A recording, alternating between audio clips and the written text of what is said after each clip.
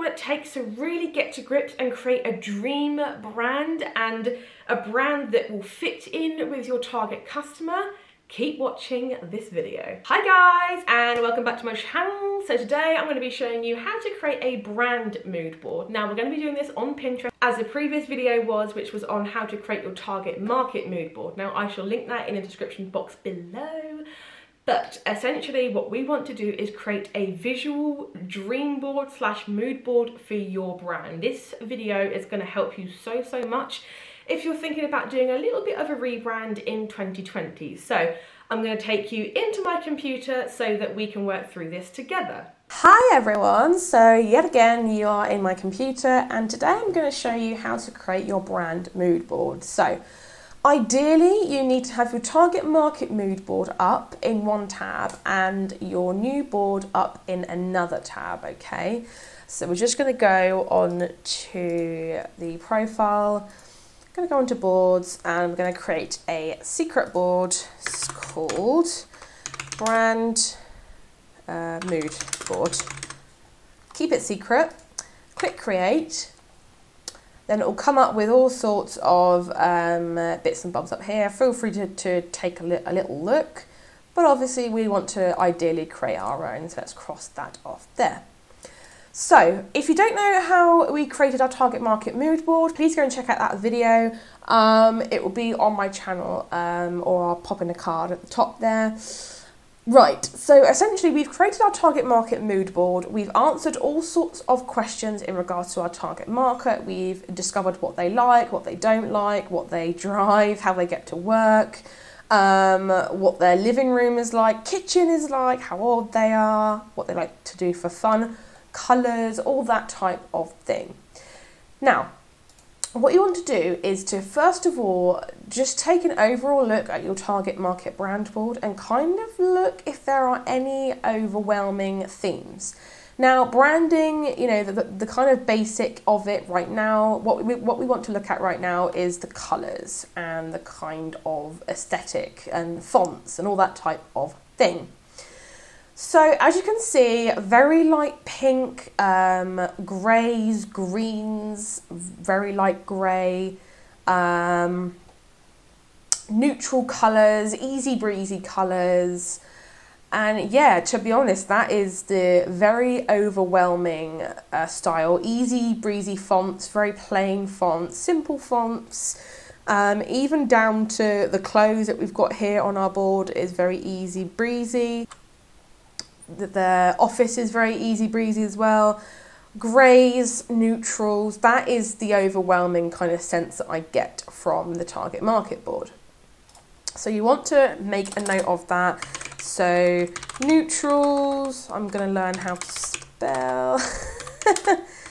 Easy colours, let's go for light grey, light pink and light green.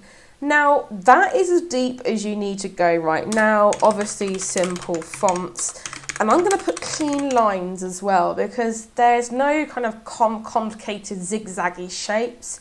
Circles, rectangles, squares, easy peasy, um, very simple aesthetics. So, I'm then going to go to my brand mood board and I'm literally going to do the same thing as what I uh, did for the target market mood board. The first thing you want to do though is to ask yourself questions like this. Now, I have taken a few from my course, which, if you don't know, I am currently in, in, the process of making. So, what three words describe my business? So, you may be making this mood board when you already have your business up and open, or you might not. Either way, you have to really get three words in your mind as to the vibe or feeling that you want your business and your branding, therefore, to create. So, if you've just come off of doing your target market um, board, there might be three words that literally stand out at you. Um, if not, it may take some brainstorming, and that's okay. Just go back and have a look at your target market board and identify any sort of themes. So, the three words that I think would describe this business would be clean, simple, and eco. and that really is uh, those three those three words can do so so much because you can print them out you can put them above your desk and every time you're creating um, uh, graphics or any you know writing descriptions writing marketing emails even in instagram posts and things like that Look at those words and think, does this comply with the three words that describe my business, yes or no? And those three words can be just so, so good for writing like a supporting sentence that goes underneath your logo. Um, so, what, what main things does my brand bring to the table? And what I mean by this is, what does your brand contribute that maybe the other brands around don't? So, for example, if let's say that you uh, donate 10% of all profits to um, some charity that supports your cause, maybe Greenpeace or something like that, that is something that your brand brings to the table. Or maybe you have 100% um, eco friendly packaging or maybe there is something else that you get. Uh, maybe you get a free candle with every purchase. maybe I, I, I don't know. There's got to be something that your brand brings to the table that other brands don't. Okay. So for this brand, let's just imagine that 10% of all profits are donated to either WWF or Greenpeace or the RSPCA, maybe. So that is something that your brand does, other brands don't, and it's something to brag about as well. Um, your your unique selling point is basically this, and that is the thing that you need to really, really push in your branding and your marketing and things like that.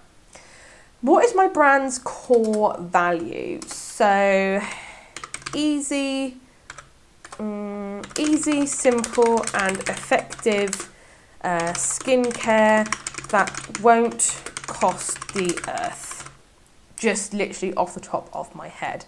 So you're getting in those um, sort of three major keywords simple, easy, simple, and effective skin skincare that won't cost the earth, i.e., it's sim- simple to use, easy to use, and it's eco friendly.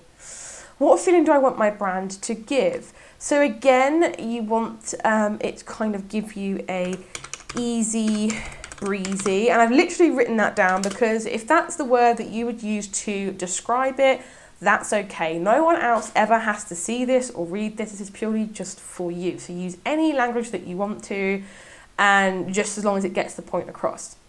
So easy breezy neutral, eco, clean, easy, relaxing. Um, just yeah, just just kind of write down any words or sentences or anything that you want your brand to convey to your target market. Ideally, these words or sentences or whatever needs to attract your target market. So I'm going to make that a little bit bigger because there's no point me um, scrolling up and down all the time. Might as well make it a little bit bigger.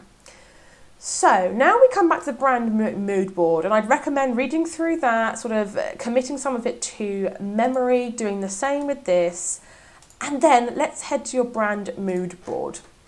So, what I tend to do is I just type in neutral colours, and nine times out of ten, you'll get a pin like all of these here, which just gives you the type of colours that you'd ideally want. So I am going to go to, where's B? It's an alphabetical order. I don't know why I just scrolled all the way back to the bottom. Brand mood board. And this one as well, I think. Save and maybe, mm, I'm going to go with this one.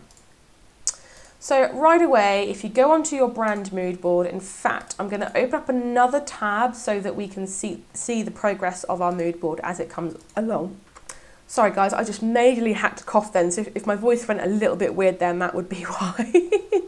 the joys of getting over the flu. Um, so let's go and find our mood board. So right now that is what our brand mood board is looking like. And really, you've got to go with the type of elements that your brand will have. So simple fonts even, and just get an idea oh see I like I like these they can go on the board Um, do, do, do, do. Now, obviously, these are names of fonts, quite useful if you're going, you know, and buying the fonts yourself to obviously make your logo and things yourself. Also, a fantastic thing to send to someone who is creating your logo for you or helping you with your branding. Um, just makes it a little bit easier for them to kind of get the vibe that you're going for. I like these actually because that gives me all sorts of different kind of graphics ideas and things like that. In fact, I am liking the very light feminine floral aspect of this. So that I'm going to go for right now. So I'm going to go for simple um, floral sketches, let's say. Uh, there we go, that's the kind of thing that I want. So I'm going to save these because obviously um, this is included in your branding, which I feel like it might because I want to really push the natural skincare aspect of this brand, and I think that the floral elements and the clean neutral colours will do that. Um, and I just think it helps to portray our branding.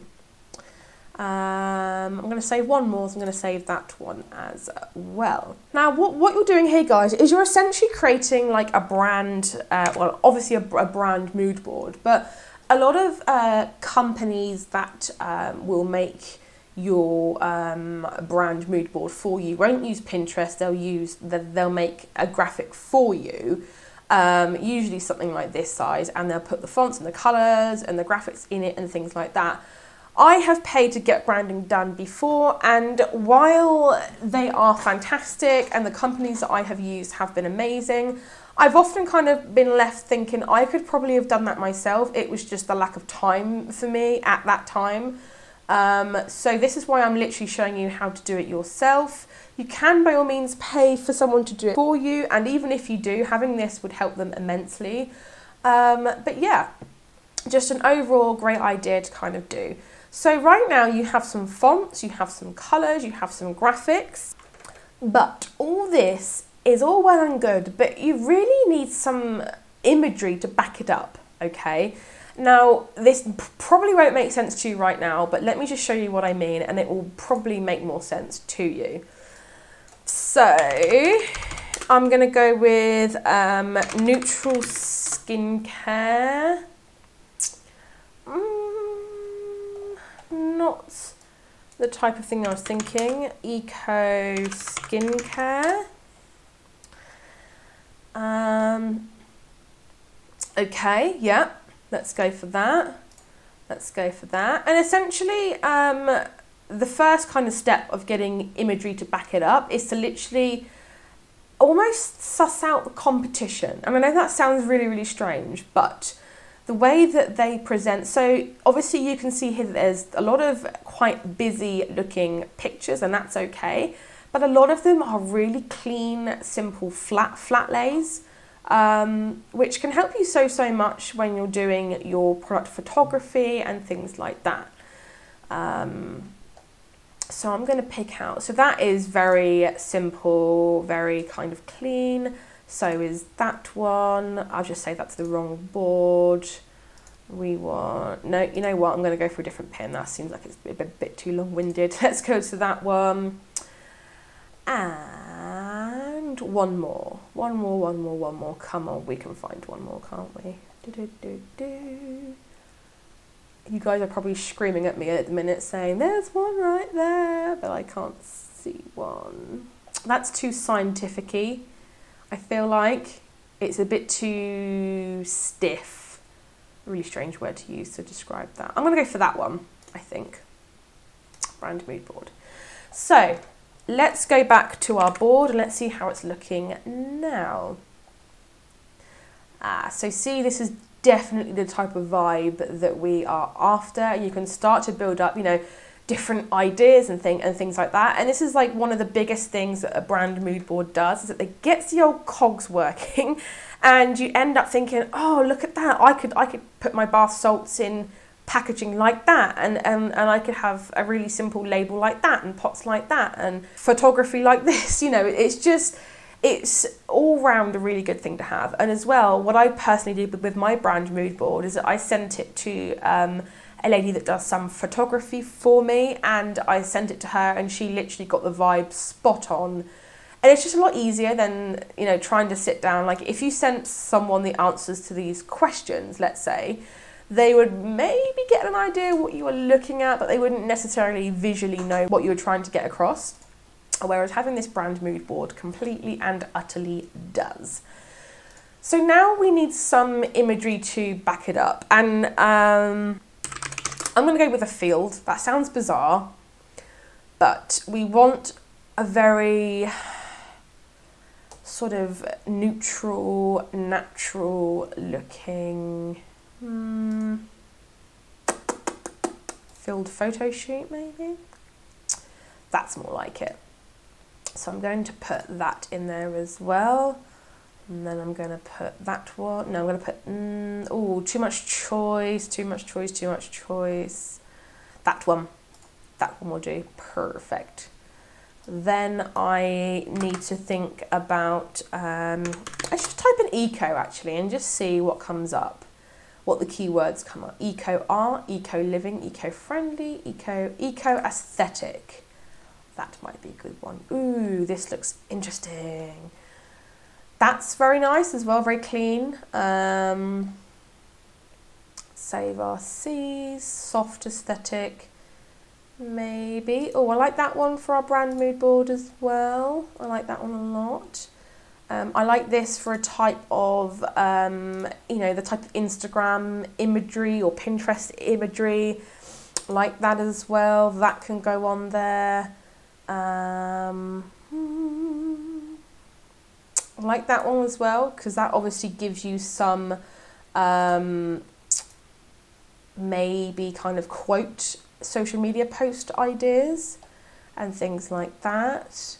Um, naked beauty bar that could give me some indication of what to do at craft fairs. In fact, let's have a look at that.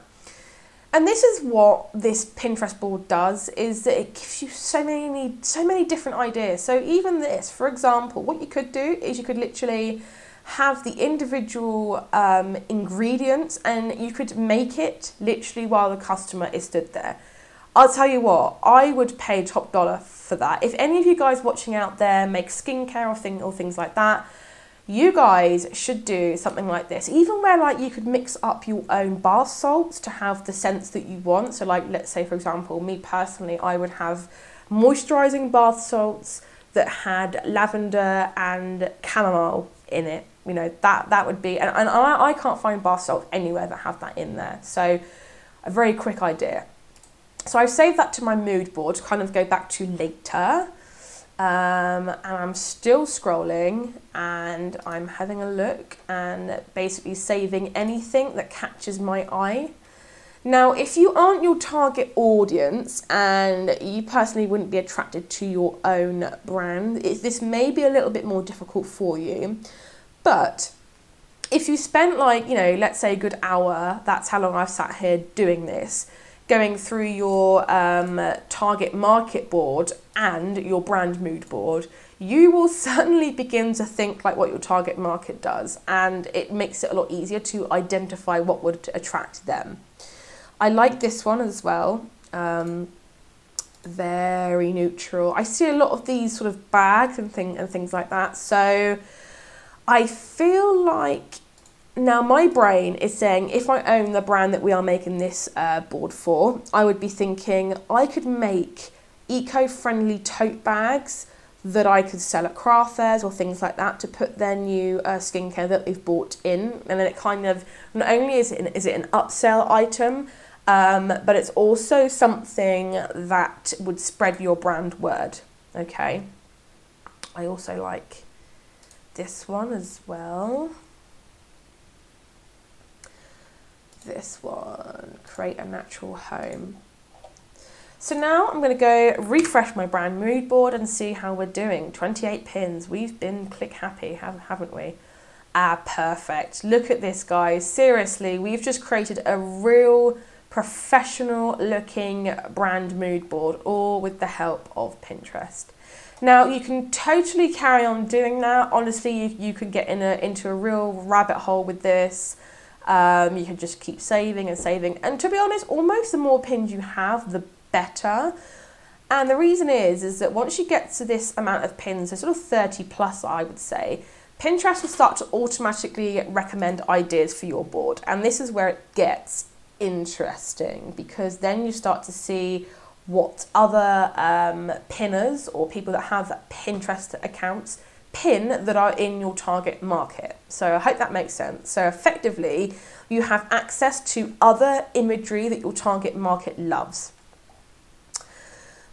So let's have a look. Now, you will get some weird pins that are promoted pins. Um, I wouldn't take any notice of those, to be fair, unless they are in your, um, you know, kind of go into your brand board aesthetics or things like that.